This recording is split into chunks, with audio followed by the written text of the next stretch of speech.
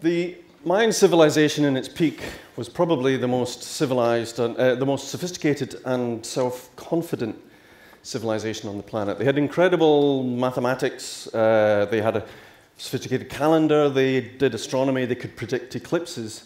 But probably one of the most remarkable things about the Mayan civilization was around about AD 900, the population went from around about 22 million to only a few hundred thousand in just over a generation.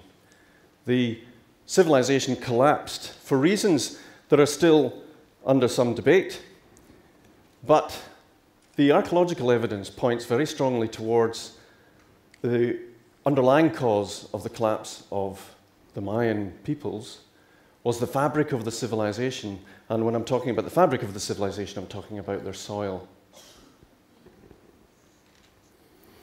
Motivated a little bit by the fact that despite their incredible sophistication and the mathematics and their ability to predict things like, incidentally, the world is going to end on the 21st of December 2012, according to the Mayan calendar, I took it upon myself around about 10 years ago to figure out how long we've got with our soil.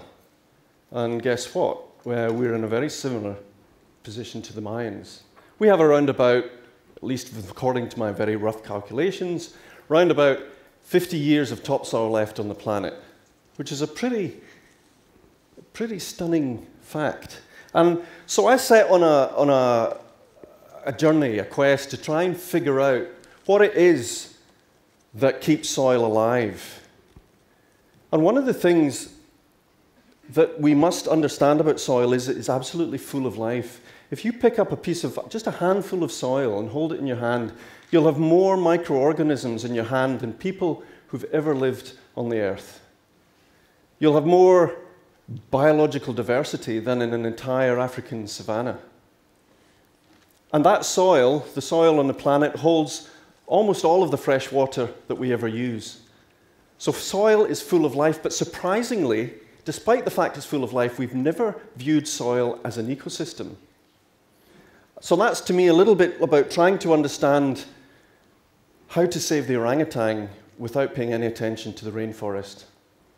So the first thing we did, uh, I'm a very keen fan of the move of the TV show ER, and whenever anything goes wrong in ER, they take it to a CT machine, and that's exactly what we did with our soil. We, this is the first time that anybody has ever visualized the soil habitat.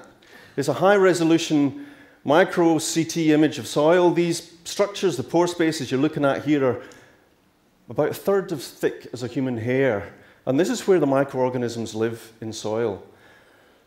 Now, the astonishing thing, when we looked at this and we did some clever stuff with mathematics and figured out that the structure of this habitat is not random. The fact that we can fly through it like this, the fact that this pore space is all connected, means that something is organizing soil at the scale of the microorganism. So we tried to figure out what that might be. And not surprisingly, perhaps, we found out that it's the microorganisms themselves that are organizing soil. And we did some clever computing and mathematical modeling, and this is an example of, of one of these models where we looked at how microbes distribute themselves in the habitat space. And what we found was that where the particular site in soil is really good place for microbes to live, they cover the surface like this. This is a fungal mycelium, it covers the surface, and this protects those habitats from being degraded. Where the sites are not so good, that doesn't happen, and those sites get degraded.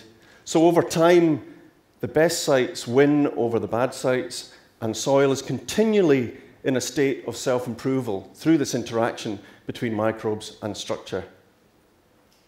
So where does the energy come for all of this?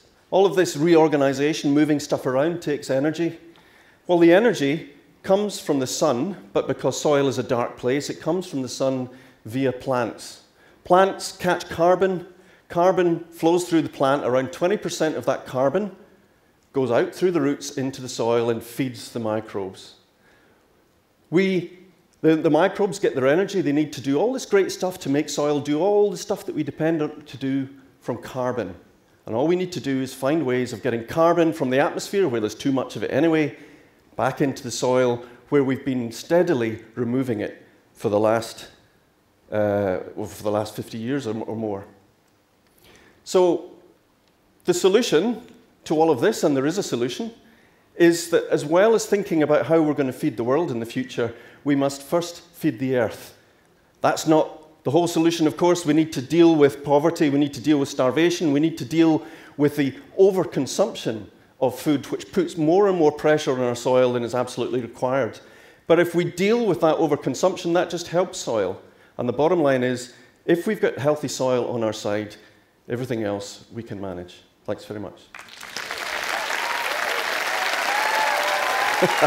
Thank you.